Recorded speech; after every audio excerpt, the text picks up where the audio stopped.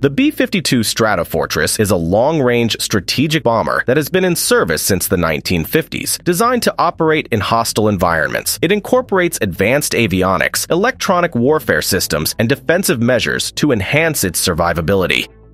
The B-52 re-engining program is expected to be completed by 2030. The B-52 is expected to remain in service until the 2050. The new Rolls-Royce F-130 engine that is being installed on the B-52 Stratofortress is making the iconic bomber more powerful than ever. It is more fuel efficient and powerful than the B-52 current TF-33 engines.